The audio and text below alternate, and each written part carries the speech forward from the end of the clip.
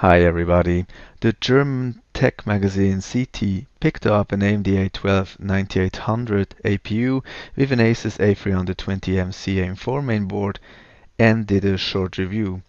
Interestingly, although the A320 Promontory chipset does support USB 3.1, Asus did not make use of this function. There are USB 3.1 soldering marks visible on the mainboard, but Asus did not use them.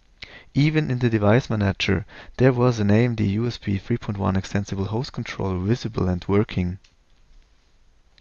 The magazine also says that they had the same observation with an HP Bristol Ridge AM4 Pavilion PC that featured an A10 9700 APU. It looks like that those rumors from about six months ago that Zen's chipset had a limitation that could increase cost could be true or could have been true.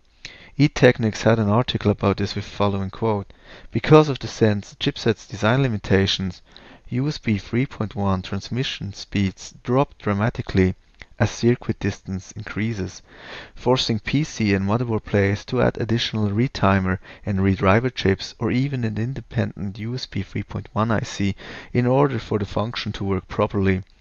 This has thus increased the maker's costs. While this remains speculation, it could have had an impact on Ryzen's launch date, I guess. But yeah, we don't know.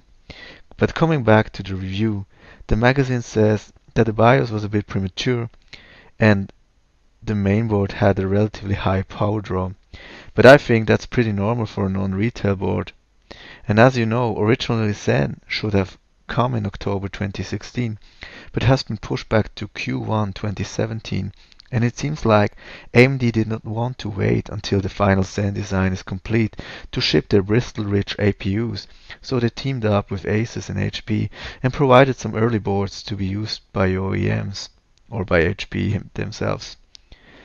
But now let's go to the, their benchmark results. Sadly, CT did not put a lot of effort in benchmarking and only provided numbers for Cinebench, Ada, Firestrike and Dirt Rally. In Cinebench they compared the APU to an i3 6100 and the Intel CPU was about 20% faster.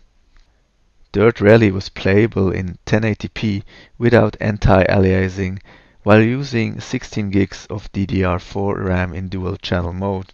So I hope I was able to share with you some useful or interesting information. If you like more of it, give it a like, subscribe or leave a comment.